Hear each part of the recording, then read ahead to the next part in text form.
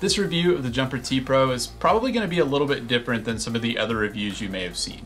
You see, when I buy a radio, I always just wish I could pick it up and hold it in my hands and see what it feels like to actually use. And while I can't hand this radio to you and let you try it, I can try to focus this review more on that side of things and give you more of an idea of what it feels like to use this radio and you know whether you'd enjoy using it as your daily driver. You can read a spec sheet, so I'm gonna mention specs here and there, but it's not really the focus of this review. Let's go ahead and take a closer look at the Jumper T Pro. My first impression picking up the T Pro is very positive. It feels solid and well built and just has a generally premium feel. There's an immediate contrast to the Jumper T-Lite. And by the way, I'm gonna be using the T-Lite a lot in this video as a comparison because it's been my daily driver radio for a long time, and I know a lot of you are using it as well, so I think it makes sense to compare to that one. And in comparison to the T-Lite, I feel like this radio just fits really nicely in my hand and just feels a lot more premium than the T-Lite. The main body of the radio is made of nicely textured plastic, except for the grips on the back, which are a rubber textured material that feels a lot like leather. It's really nice to hold in the hand, and just in general, I was really impressed when I picked this radio up. Of course, one of the first things you're gonna notice when you pick up any radio is the gimbals and how you interact with them. I've got some conflicted thoughts here.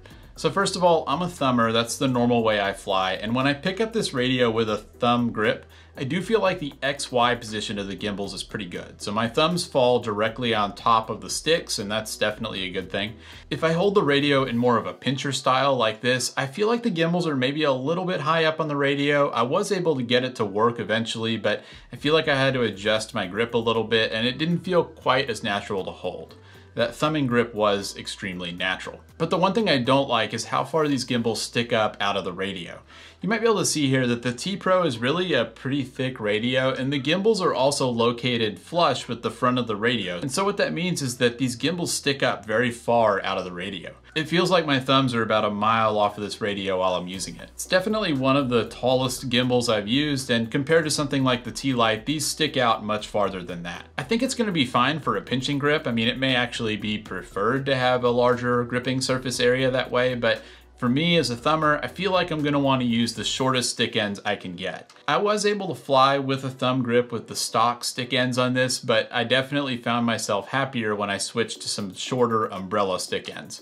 So that's something to keep in mind if you're a thumber and you wanna use this radio. I should also say, in terms of smoothness, I didn't have any concerns about these. They are Hall gimbals, and to me, they felt very similar to the T-Lite and other radios I've used. Let's move on to some of the other controls, and this is where the T-Pro starts to differ from other radios you might have used in the past. First, we can look at these momentary clicky buttons on the top shoulders of the radio, and I actually really like the way these work. They're positioned really well, they're easy to press, and they don't have much travel to them, so you can actually click them and press them very quickly. But you have the obvious question of how you'd actually use these buttons to arm the radio. You know, normally the arm switch would be a toggle switch, and so you'd toggle it on and that channel would stay high and that would tell the flight controller to stay armed. But these switches don't work that way because they're just momentary switches, so they just click on and off when you press and release them. It turns out you can fix this pretty easily with some configuration in Edge TX. I ended up setting mine up so that I press both of the buttons at the same time to arm like this, and then I release them and it stays armed. And then if I want to disarm the drone, I can just press a single button because that's nice and fast and I always want the ability to disarm quickly. That wasn't that hard to set up. I'll link a video below that shows you how to do it and there's plenty of other ways you could set it up if you wanted to. But one thing I have to say is that it would have been really nice if Jumper had just set up that configuration from the factory. I was kind of disappointed that I had to go in and do that myself, and I maybe kind of feel like I wouldn't be able to just pull this radio out of the box and use it to fly a drone. You've got to do a little bit of configuration first. I feel like they could have done that from the factory and made things a little bit easier. Moving on to some of the other controls on the top here, we've got these rocker switches that are kind of farther to the inside, and those are to replace your normal three position switches that you'd use to set flight modes or maybe turn on crash flip or things like that. Now, I've kind of got some mixed feelings on these rockers as well. I mean, they work pretty well. They do give you the normal three positions. I think they click fairly nicely, although I did feel like between the middle and bottom position, I didn't feel like that click was really very solid. It's, it's kind of a subtle difference between those two. So maybe that could have been a little bit better. But my biggest problem with these rockers is just that they're really pretty small and kind of hard to hit. So I mean, at least for me, when I hold this radio, I feel like I've got to stretch a little bit to actually get to that rocker. And it's such a small rocker that I kind of have to be precise to get it and click it into the position I want. It makes me feel like this is gonna work for things like flight modes where you just kind of need to be able to set it as you fly, but not necessarily quickly. But I wouldn't want to use this for anything where I was trying to quickly do it. So, you know, I wouldn't want to put my arm on this or anything like that because I, I feel like it might be hard to do it quickly. So a little bit of mixed feelings there. I wish these rockers were bigger than they are. And then finally, if we stay with this part of the radio, we've also got these two scroll wheels or potentiometers up there on the shoulders. Now I've got to say, I don't use those with the things that I fly, so it's kind of hard for me to talk about how usable they are in practice, but they do feel pretty nice. They don't have a center detent, they just roll smoothly from one extreme to the other. And I will say that the spring tension is pretty tight on these, so, you know, I don't know if that's a good thing or a bad thing. It kind of feels like a good thing to me because I don't think they would accidentally get bumped. Uh, but you do have those two dials available if that's something that's useful for you. The last flight control I want to mention is this series of six buttons that's on the front of the radio near the top. Now this is something we haven't really seen before on a radio this small. The T-Lite didn't have it and most of the smaller radios don't have it, but it did kind of remind me of a similar set of buttons that you see on the bigger radios such as the Radiomaster TX16. I think this is an interesting control to add to the radio and it could have some pretty cool uses, but it's not set up very well out of the box. It's clearly designed such that only one of these buttons would be active at a time. So there's a little LED above each one and when you click the buttons, the other LEDs go out and only that one LED lights up but the radio isn't set up to send all of that information on a single channel. So it's a little weird and it'd be kind of hard to actually use that out of the box with your flight controller. Now, it's easy to fix in Edge TX. Again, I can link a video below that shows you how to do that, but you know, it's kind of just like the thing with the arm switch. I don't know why Jumper didn't set it up that way out of the box. It would have been really helpful. I guess I should also mention in terms of flight controls, there are trim controls on this radio. So there's these two little five position joysticks located on the front of the radio, and you can click those up, down, left, and right to set the trim on the gimbals. Now this isn't something that I typically use flying quadcopters, but I know that you guys that fly planes do use the trim quite a bit to set the trim on the gimbals as you fly. And so I'd love to hear from somebody down in the comments. What do you think about these little joysticks? Is this gonna be easier to use than the separate trim controls that we're used to, or is it going to be too fiddly and annoying in flight? I'm curious to hear what you guys think about that. We should also talk about the screen and menus on the T Pro. Now, this radio does have a pretty small screen. It's the same size screen that was on the T-Lite. I'm fine with that because I don't really use the screen for much. I like to have it, but I'm not doing tons of configuration on my radio and I don't have any trouble seeing the screen. I know that bothers some people. I will say that the buttons and jog wheel that you use to actually interact with those menus are way better on this radio than they were on the T-Lite. This is a much more modern control scheme. It more closely matches other radios that I've seen and I found it really pleasant to use. These buttons are well labeled, they feel nice to press, the jog wheel is made of plastic. I know that's gonna bother some people. I think it's fine. It feels good to use. It's easy to navigate through the menus. No complaints there. Last thing we're gonna talk about in terms of controls is just a couple of ports that we've got along the top part of the radio here. So you've got a USB-C port, which you can use to charge the batteries inside the radio, or you can also plug it into the computer for firmware updates or to use with a simulator. And you've got the normal 3.5 millimeter trainer port if that's something that you need. The micro SD card slot is also located on the top of the radio and I do have some complaints here because for some reason they decided to put this slot directly underneath the antenna on the radio. And so it just makes it incredibly hard to pull this micro SD card out of the radio. If they had moved it just a few millimeters up, it would have been super easy to do, but because they did it this way, it's very hard to get out of there. It's something that I'm glad I don't have to do frequently. I was able to get it out and put it back in, but not something I'm gonna want to do regularly. So we're about to power the radio up, but first we need to take a look at the batteries. Now, one thing that I'm really happy about with this T Pro is that they decided to use two 18650 cells. That's a big improvement over some other radios. So the T-Lite only had a single 18650 and it didn't last very long and had a little bit of trouble powering some of the higher powered external modules. And then other radios like the Zorro use those cute little 18350 batteries that don't last very long. Really happy about having 18650s in this radio. But one thing that is a real pain is getting these batteries in and out of the radio. The way you have to do that is you have to turn the radio over and then there's these two rubber covers on the hand grips and you've got to pull those off to put the batteries in. I found this to be really hard to do. In fact, I'm gonna make you guys watch me right now remove one of those and put it back on just so you can see what's involved in that. Watch me be able to do it really fast on camera. So I was able to remove it Uh, and that's that's really not too hard. And you can see how the, the batteries fit in there, and uh, that's that's that's pretty simple. But putting this thing on is such a pain because it's got all these little bits that you have to try and line up, and you kind of have to squeeze it into position. And I just really found this to be a pain. I feel like every time I do it, it just doesn't really want to go in.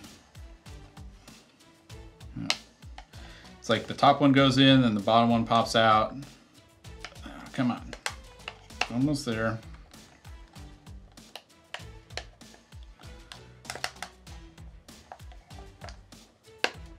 All right, we got it back in. So I did it for one grip. We're gonna have to do it for the other grip as well if we're changing both of the batteries out. So that's a pain. I think I'm probably gonna be charging mine by plugging in the USB-C port. I don't picture myself swapping cells on this radio.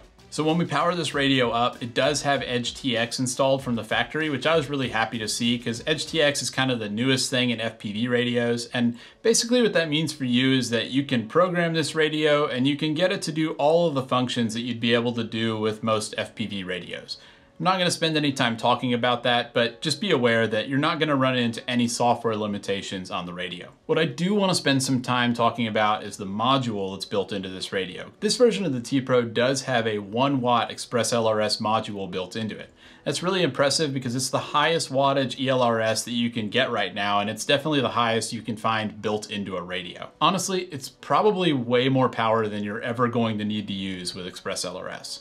The radio also has this nice T-shaped antenna built in. I like this because it's low profile and you can even swing it out of the way if you want to make the radio even more compact. If you wanted to use a different antenna, they do include an adapter in the box so you can take this antenna off and put that adapter on and that gives you a normal SMA where you could attach any antenna you want. So that's kind of cool to see. Speaking of cooling, there is a cooling vent on the back of this radio and it's a good thing that's there because this module can get pretty hot, especially if you have it on that one watt mode. That's a good reason to maybe maybe use dynamic power with ELRS, or maybe you just don't put it all the way up to one watt if you really need that, because it is gonna hurt battery life, and like I said, the radio gets pretty warm. And while we're looking at the back of the radio here, I'll also mention that you can add an external nano module to this radio.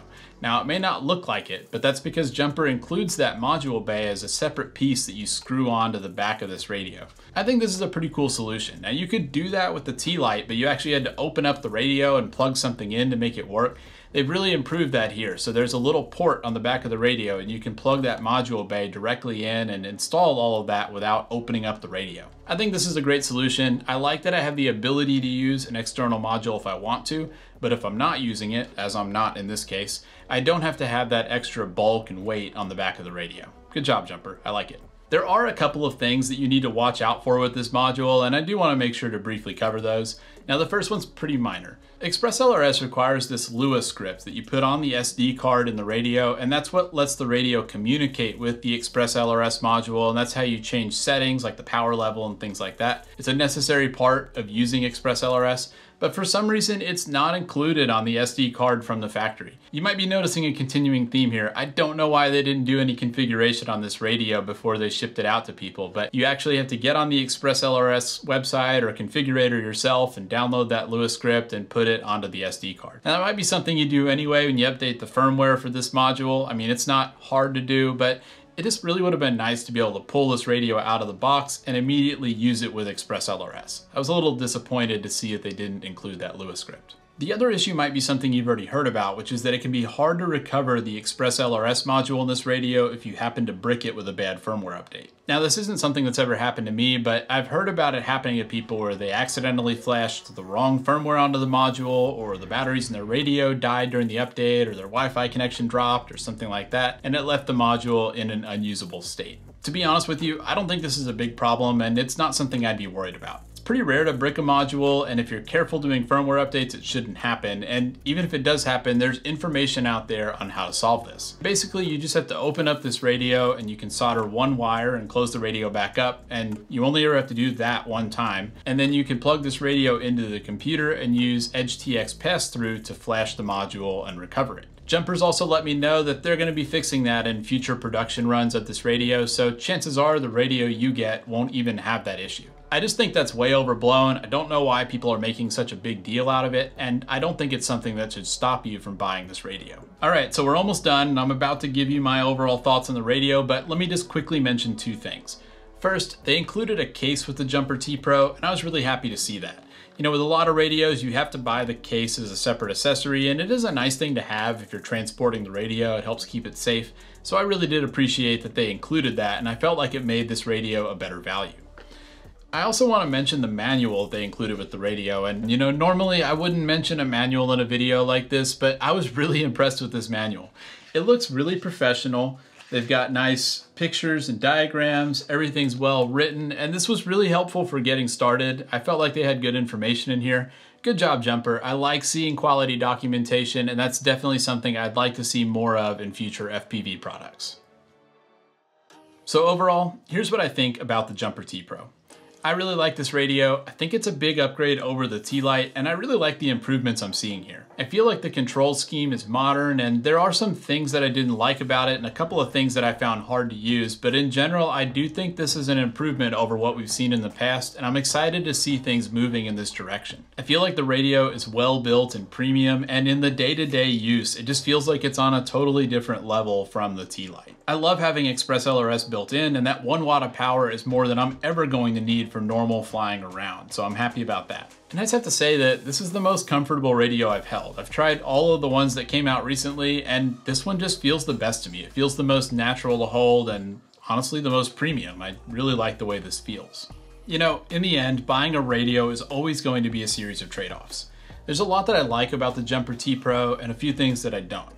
But in a world where we don't have unlimited choices for FPV radios, you kind of have to pick what's most important to you and buy based off of that. For me, I think the feel of this radio is unmatched and I like the features it provides. I think there's a pretty good chance that it's going to become my new daily driver radio. But that's going to do it for this review and I hope you guys enjoyed the deep dive into the Jumper T Pro. As always, I'd love to hear what you think about it, so make sure to leave a comment down below with your thoughts on it. And I've got links down in the description, so if you want to purchase the radio, I do always appreciate it if you use my links to make those purchases. Thank you so much for watching this video, and I'll see you in the next one.